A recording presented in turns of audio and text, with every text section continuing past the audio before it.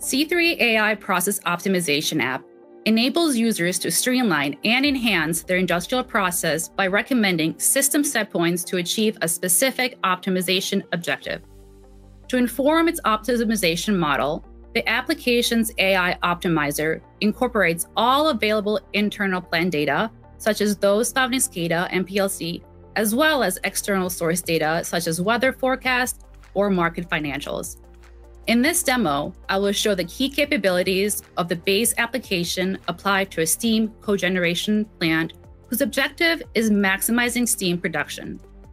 The target user persona in this demo are the process engineer and the operator. Note, even though this demo focuses the workflow in a steam cogeneration facility, our UI and workflows can easily be configured to your facility-specific process optimization use case and objective. We have experience deploying our application to various industries, including petrochemical, oil and gas, and even sugar production. I will first demo from the perspective of a process engineer in a steam cogeneration facility to show how they interact with the C3 AI application, and then switch over to demo from the perspective of an operator. Let's get started. I, as a process engineer, am responsible for providing recommendations to operators for how to best optimize the system. I'm also responsible for performing due diligence and gathering evidence to support my recommendations.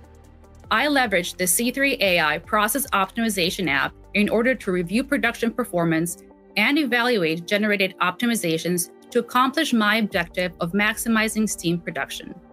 The first thing I see when I open the C3 AI app is this process overview page. This shows top information as an engineer that I need high visibility, including the top KPIs, latest production data, and a summary of recommendations to optimize steam production. At the top of the screen, I can see several KPIs that relating to the impact of my optimization, such as aggregate power due to the additional steam that has been generated, as well as the corresponding financial impact. I can also see the optimization adoption rate, which I can further get information at the bottom about which specific optimization were accepted or rejected. Note, although we see Steam-specific KPIs in this demo, these tiles are highly configurable. These can be interchanged with any other KPI of interest. In other customer use cases, we have configured to show KPIs such as downstream demand, carbon metric ton saved, and so on. In the middle of the page, I can see a preview of the most recent generated optimization. I can see that there is an opportunity to increase production by roughly 42,000 kilowatts an hour, leading to an increase of about $10,500. I can also see a quick snapshot of the optimal set points for this particular optimization run. For each set point recommendation, I can see the current process value alongside the value that is displayed. The time series graph right below also helps me visualize the plant's historical production compared to its potential optimized state, along with tracking of previously accepted or rejected optimization. Before I send the recommendation to the operator, I want to learn more about how they were generated in order to gain confidence that I'm actually recommending the correct actions. To do this, I can click on the View Detail on the Optimization preview.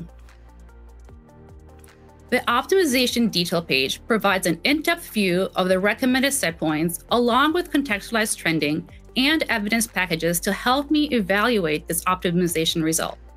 I can see the five unique set point values that are recommended by the system's optimization. Similar to the process overview page, I can see the current and optimal value along with a set point delta or the amount to adjust each set point. However, as an engineer, I also want context on the range of the set point recommendation and their historical operating values. To do this, I can click on the side of the first set point to expand the row. Here, I can see the distribution of set point values over the past three months. Using this visualization, I can see that the current recommended set point falls safely in the range of previously operating values. If I want to view more details on key process variables at different operating periods, I can do this by clicking on the Variable tab here. For example, If I'm concerned about steam turbine gas flow, I can view its historical and optimized value in relation to the upper and lower bounds in the time series graph here. I can also adjust for different time periods, such as operating during summer or winter months, which I may be interested in investigating. Finally, as an engineer, I want to view settings that were used to generate this optimization in order to gain insight and build confidence on this machine learning approach. To do this, I can click on the Optimization Configuration tab and view the objective function, optimization variable, expressions, and constraints that are used to run this optimization. I can also view the upper and lower bounds for each constraint and variable and can cross-check that they actually match my current system conditions. After this final review, I'm satisfied that the system configuration is correct and set points seem reasonable. I'm ready to send this to the operator.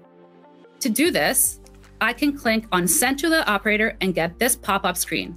In here, I can write a note to the operator and can also attach any files that I think the operator might find helpful in understanding. After this, I can click here on Send, and I can see the status of the optimization is now sent. I will now demo from the perspective of an operator. I am a busy operator, monitoring many different screens and responsible for ensuring the process is optimized, safe, and reliable. As a result, I require a way to obtain clear information about recommended set points so I can quickly assess the validity and necessity of the recommendation without disrupting my normal workflow.